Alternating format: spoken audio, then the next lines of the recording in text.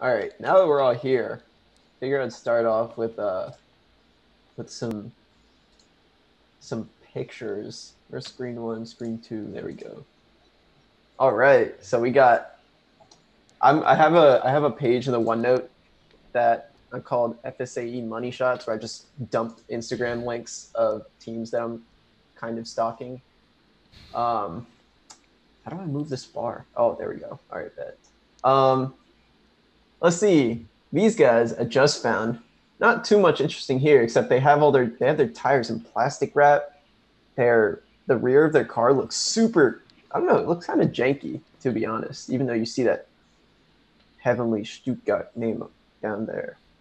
Their HVD is on the back, like it's towards the top of the picture, Mhm. which is in- interesting. Because if we don't have aero, then we could probably do something like that.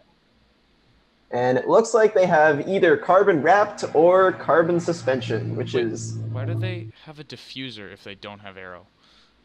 um it helps. Uh, even if you run under tray only, um, you usually get usually with FSAE cars, your under tray produces the most amount of downforce.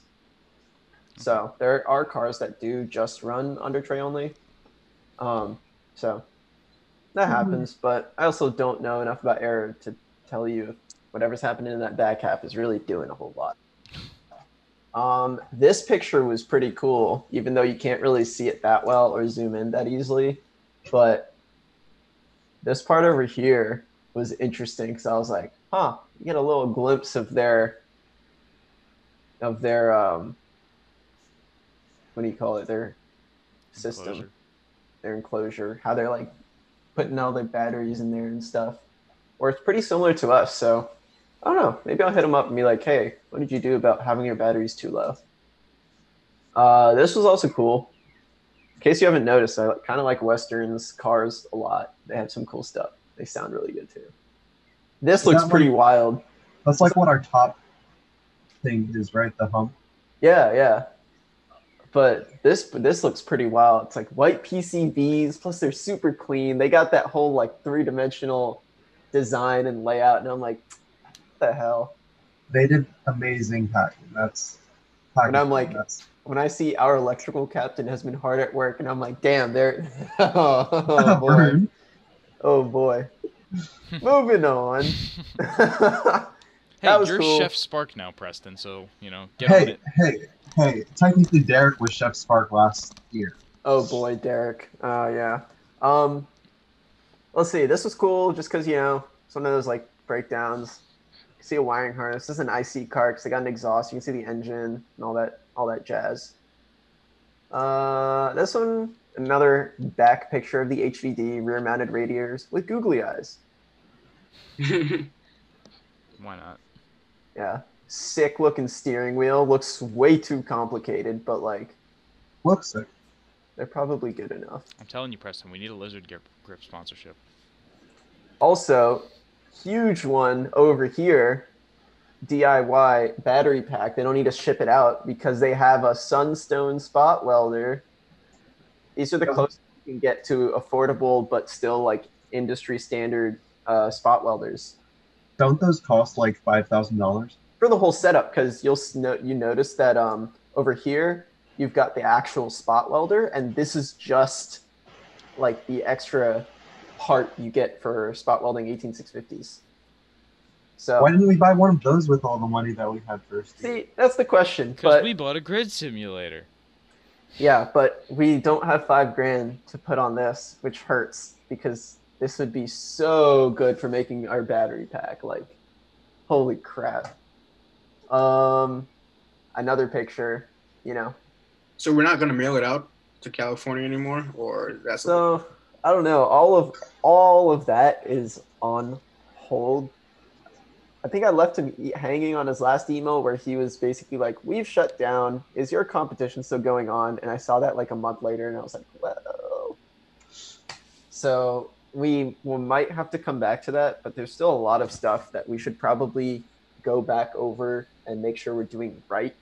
Um, everything's like properly rules compliant before we ship it out because we were definitely hitting a point where just like getting really rushed and a lot of things were sliding. Important thing here make sure your hair's tied back if you have long hair. Don't be like that one horror story of that girl that got sucked into a lathe. Wait, what? Um, anytime we're talking about shop safety, um, there's al- someone always brings up this, the that one story about a girl who had her hair down and she was working on a lathe and got sucked in because the lathe is definitely more dangerous than a mill because with a mill it's kind of like a drill where like your only your bits the spinning part but in the lathe you chuck your part and your whole part's spinning so What happened to her? Is her hair? Is her head okay? i have no idea it's one of those stories that's just been passed down it's like One of those stories to scare you away from ever using it. but was probably true oh and this last one is just my like end game for designing like you can use SolidWorks Electrical. I have a tab in the in another OneNote page um, where I've started exploring SolidWorks Electrical, but I kind of left that a few weeks ago and haven't really gone back to it. But man, Deutsch Autosport connectors are so nice, but they're so expensive. Anyways, um, let's see what we're gonna do today. Um, so last time we went over the HV enclosure board. Um, I will probably like edit that video and put it up later, but feel free to scroll through this whole thing. It's I tried to put together and be as what do you call it, like as thorough as possible, and especially for most of the people who haven't taken like started who have just starting like taking all the EE classes because 140 and 150 eat up your first year in the major. Um, yeah, like I spent a lot of time on like explaining voltage dividers, but it was interesting. I learned some things too. Let's see, what's pre-charging? Why do we need it? Um, well, so if we start like, looking at our tractive system as a whole, we've got are like the main parts of it are the battery, the inverter, and the motor. And what your battery does is it's your energy source, provides you with a DC output current. Your inverter takes that and converts it to three phase AC, which is how we run our motor. Now, I remember getting grilled by some random professor when we were asking about a spot welder who, who he was like, Do you know why you guys use an AC motor instead of a DC motor? And I think it boiled down to uh, it's more efficient. But I don't know. Uh, I haven't taken the electric machines class, and that shit gets pretty complicated. Um, right. So we've got our battery, inverter, motor. Why do we need a pre-charge circuit? Oh man, dude, they spell it all out. It's so good. um, so long story short, there are a bunch of capacitors in your um, in the inverter. And when you connect your battery to all those capacitors then you go from zero volts all the way up to 400 volts in like you know the blink of an eye. So what happens then is you remember you might have studied you probably haven't studied like rc you know rc circuits I think you do them in physics, but you, did, you really only do them in 205 and stuff. Yeah. But basically, if you, you know, if you go from zero volts to 400 volts on those capacitors in there, then they're not going to like that. They're going to blow up because capacitors oppose, um, what do you call it? They oppose instantaneous change in voltage. So remember our relationships between voltage resistance and current. So if you have a huge jump in voltage, then you'll see a huge jump in current and you'll probably melt some stuff, blow some capacitors, and boom, your inverter is toast. So we need to somehow limit this current by like sort of gradually turning up the voltage. Um, when I say gradual, it's still like three seconds, but that's a far cry from like less than half a second, like instantaneous, because you know, speed of light, electrons, all that garbage. Um, so, what is our pre-charge circuit gonna do? Well, instead of connecting the inverter directly to the battery initially, we will connect it to a through a we'll add a resistor in series first, and that basically solves our problem where it changes it changes the time constant if you do the calculations for the circuit just enough so that it you'll see your voltage go up from 0 to 400 in a few seconds as opposed to instantaneously. So, what are we going to do? How do we how do you how do you just add a resistor in series? You can't go in there and just pull a wire out and plop it in. That's where relays come in handy. Um, relays are electromechanical switches. Basically, instead of operating a switch like manually with your hand, you apply voltage at two of the terminals and then it, it closes the switch. So it's an electrically controlled mechanical switch. You use them in a ton of applications. In most like small electronics, relays are not used. They're usually replaced with transistors, but you'll still see relays in your cars. Um, you know, in your fuse panel box and all that good stuff. Um, right. So, what are design procedure? Yeah. What's required for this circuit? Well, you need a resistor, right? That you're going to add in series, you know, between your battery and your inverter. And you need a relay. And well, it says connectors, but that's all like logistical stuff. Now, you might also think, hey, it might be a good idea to add a fuse in. It's like, yeah, that would be a pretty good idea, but FSAE is like, nah, no fuse on the pre-charge circuit. So no fuse there. Do we know why it's not allowed? Um, I don't know. That's a good question. Um, I don't know why they don't allow it because the current that you see um, across the precharge or through the precharge resistor is like really, really low. It's like half an amp or like one amp or something like that, which I guess is kind of high in some some applications, but you know, compared to full power, eh, it's like trivially low. So, pre, what's the point of the, what like our pre-charge resistor um has to all right well hold up. Cool. So pre-charge circuit has to charge up our inverter in a certain period of time and there are two ways that we can do this. We can either time it where you do the calculations and you choose your resistor value so that you let's see so that you let's see. Where am i going? I'm going back to the powerpoint. They explain all of this. I, I really should organize this better. Okay so our precharge resistor needs to dissipate a lot of power. That's why we can't use a normal like little arduino type resistor like resistor. Oh oh. like you might be thinking of one of these but these are usually rated for an eighth of a watt quarter of a watt. You'll see big ones that can do like half a watt. But how do you how do you uh, calculate power again? Anyone trying to remind me? Piv. Yeah, dog. times- piv. So if you think about our v what's our v? 400 v let's like say all right like an amp. That's still 400 watts. You're like what the hell? All right so 400 watt resistor. And what do you get? You get things that look like this.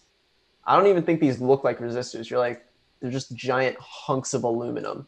It's like yeah that makes sense because um, the resistance the resistor is going to heat up a shit ton so you want to you want a lot of aluminum on that to dissipate all that heat. But if you're ever looking for something some sort of load that's like high power then you'll probably need one of these. They're called wire wound resistors. Um, so you know the thing is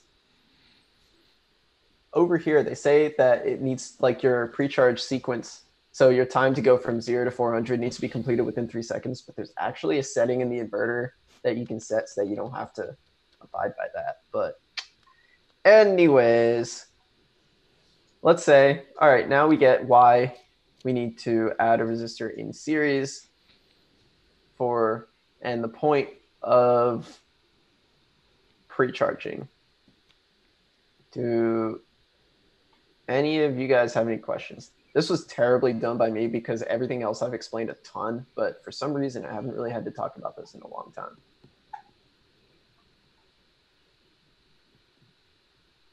We good? Yep. Cool. Isaac, Jonah, good?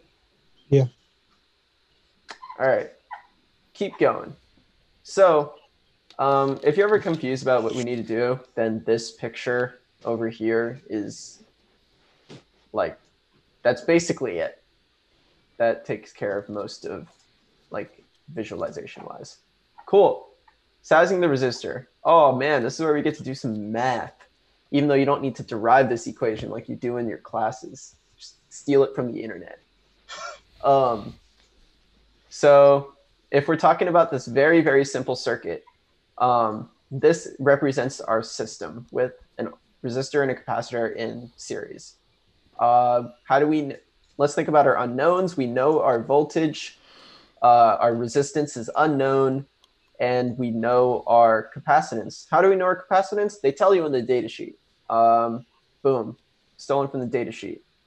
PM150DX, 880 microfarads. Cool. Now we got our C. How do we calculate our time constant? Well, time constant is equal to R times C. So what do we got? We got VC, VS. So you do some algebra over here, right? And once you get to, yeah, they, okay, yeah, they describe right here. Cool. Time taken for an RC circuit to charge its capacitor to 63.2%, 1 minus 1 over E. That's basically taken from getting this T over here. You're Is solving for T. reason that it needs to be sixty-three point two percent? Um, no, but since this is the equation that you're working with, then when you solve like when you solve the differential equation, this is what you end up with. And oh, maybe I should actually do the math out for this. Okay, I'll have to add a note for that where I should do this math and explain this a I little mean- better. Si- okay, I, I understand why it's sixty-three point two. Now, because that okay, sixty-three point two is just one minus one over e, which means time is RC. Okay, I, I now I got it. Yep, cool. Actually, you could work that out from the units that your time constant is RC, right? Yeah. Um, oh, I forget. Hold up. What are the units of farads? Uh, units. Farads are, oh yeah, no, if you convert them all to SI base units, then when you multiply R times C, you'll end up with, uh, you'll end up with T. Yep. Yep. Cool. So what do they tell us? All right, we're going, we, okay, so if the RC time constant, if we, if you get this value and you plug it into T here, that will give you what your VC is. So that'll take, that'll give you your voltage or that time is what's required for the voltage across your capacitor to get up to 63.2%.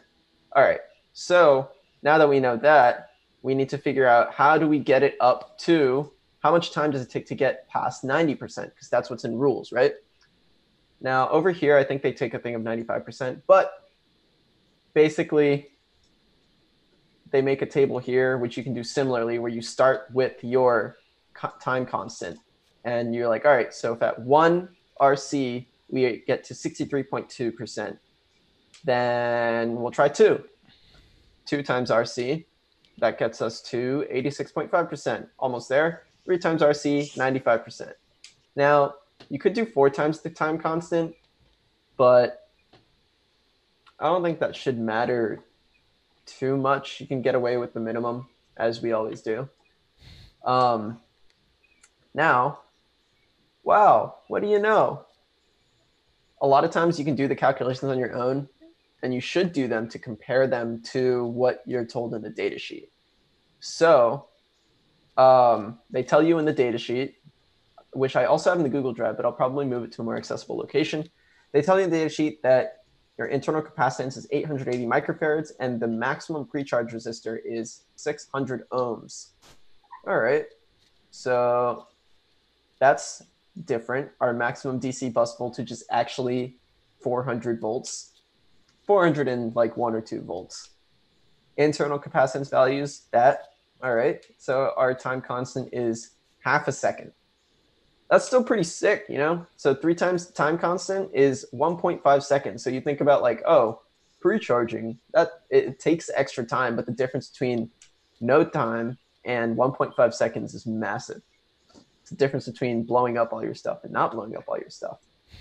So we're like, all right, 600 ohm resistor, we can do that. Um, and now you have your resistance and you take your maximum system voltage of 400 volts and you know you v squared over r for power dissipated by the resistor. And they got 171 watts for us. Rats bro is this what i get for using a standard calculator there we go 266 watts. So we'd probably want to get like a 300 watt resistor or something. So they went for, okay, so a lot of this depends on your datasheet values. So a lot of times they have like a, a constant like power dissipation value that they give you. Like we can dissipate 50 watts continuously. Um, and it's able to handle 250 watts for five seconds. Now, this is acceptable because if you remember, our pre-charge time is one and a half seconds. So five seconds is more than double, and there it's more than triple, and therefore it's like it's pretty adequate. Do they? Okay, they don't specify um, anything about the pre-charge resistor in the rules, so we are okay there. So they selected this 50 watt wire wound resistor. So I think this goes to show that looking through the data sheet is probably very, very important and considering things like constant current versus like short-term burst is really important. You really only think about it when you're talking about batteries and stuff, but even for any sort of power, anytime you're thinking about power dissipation, then this is a like a these are parameters that you want to look at. But cool. So let's say we got a 600 ohm 50 watt resistor, handle for rated for 250 watts. Now for our case, for a new car, we'll have to select a new resistor because since our maximum battery voltage is 400 volts rather than 320, we hit something like 266 watts. Um, so this would probably be cutting it pretty close. So I'd probably select a new resistor, which one of y'all can do if you want. Um, so now we've got a resistor, right? We figured out, we basically went off of their, what you call it? We went off of their uh, recommendation as to what we, what resistor value we use. And this is important because actually, okay, so let's talk about this. Remember we calculated three times the time constant to charge your battery up to 90, 95%, right? Yep. Now, why is that important? Because there are two ways of controlling your AIRs. So if we scroll back up to this circuit right here, then how does this work? What, what, what does this do? So when we are, when we first start up the car, you turn on the low voltage system and then you want to turn on the high voltage system. So you go through the shutdown circuit, close all those switches, make sure you don't have any faults. Then what you want to do is you want your main accumulator isolation relay. That's what an AIR is. They're huge, big, chunky relays that can pass 200, 400, 500 amps through their contacts. We want the main positive AIR to be open and we want to close this, right? So then when we're starting up our system, we're pre-charging. And then after we deem it, you know, after we we are like, okay, we're done pre-charging. How do we know we're done pre-charging? You can either measure the voltage of your tractive system or you can time it. You can just say, you can have a IC that's like, all right, wait three seconds and then uh, wait three seconds, then close this and open this. So that's that also leads us to two different ways of controlling you know when you switch over from your like pre-charge configuration to like closing your opening your pre-charge relay and closing your um,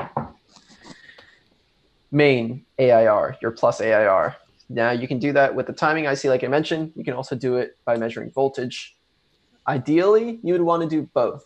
I think originally the plan was to use a timing IC because there's like you don't have to worry as much about like passing wires through. Um, now I can see why you would want to do voltage controlled, like you know have a microcontroller measuring voltage.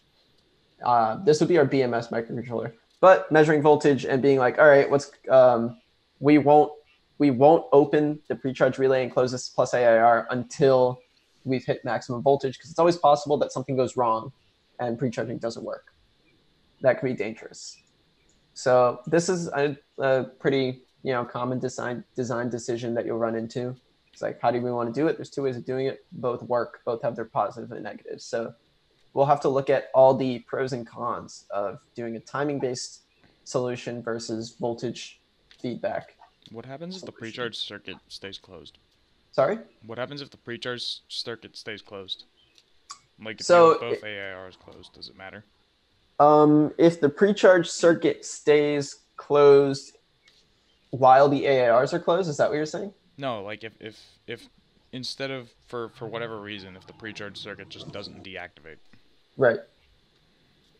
Okay, so let's say our pre-charge circuit doesn't deactivate and our so first so first situation is that um, this is closed and this is closed. You can get away with that because um,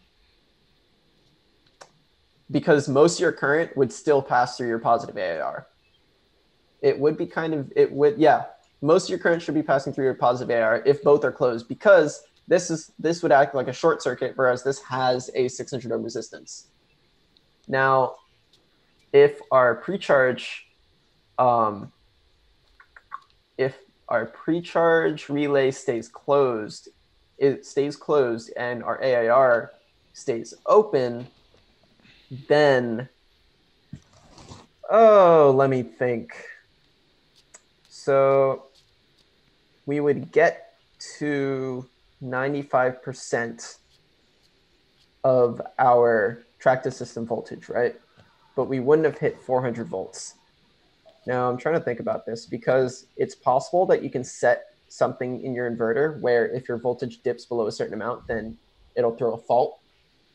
And you won't be able to, you know, your shutdown circuit will open because you'll have an inverter fault. Um, but see. 0.95 times 403 is 382 um divided by we have 70 84 divided by 84 hold up. Um that's a good question. I think it depends on how low um, you're you're allowing your you would allow your cells to dip because a lot of these thresholds are going to be dependent on your batteries, right? So you'll set all of these minimum voltage thresholds in your BMS, you'll set them in your inverter in order to see what that is. So that's you it, it hmm that's a good question. I gotta work through that a little bit more. Now it could end up in a poor situation um, if our inverter doesn't realize that, or if we miss, if we don't set our limits properly and it still tries to draw 200 amps, that could be bad.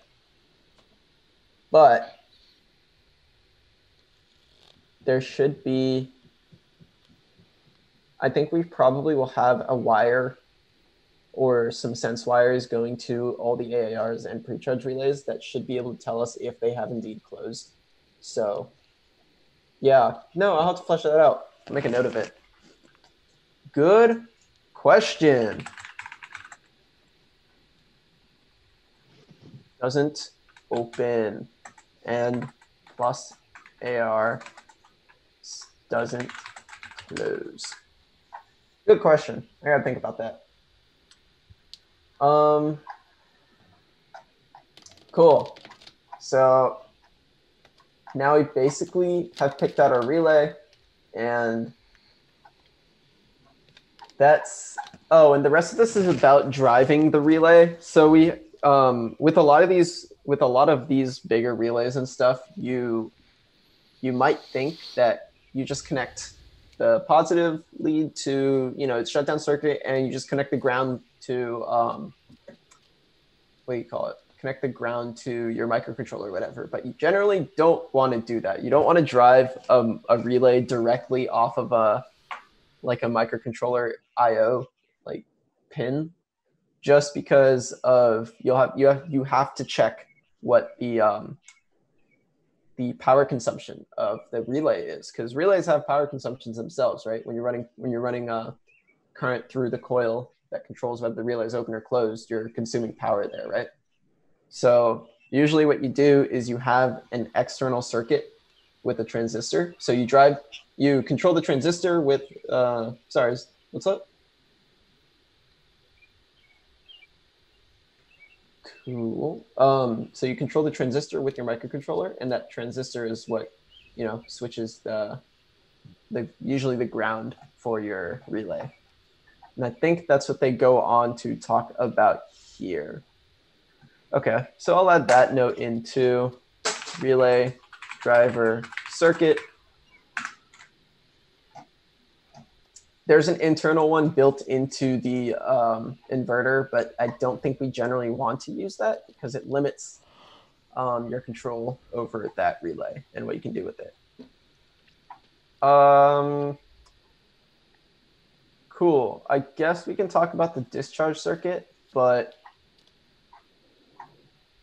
it's kind of the same deal, except a little bit different. So when I go back over the, um, I think I only went over the TSAL board last time, but I think I'll do another bit covering discharge and the TSMPs.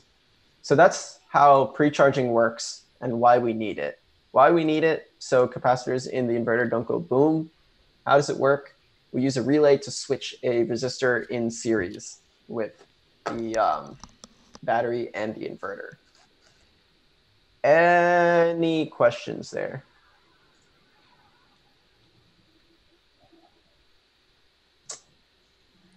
Cool. Uh, I need to flesh out that section. I kind of threw it on as an afterthought because I remember during the DC-DC converter, you're like, oh, shoot, okay, not happening. Nice. Um,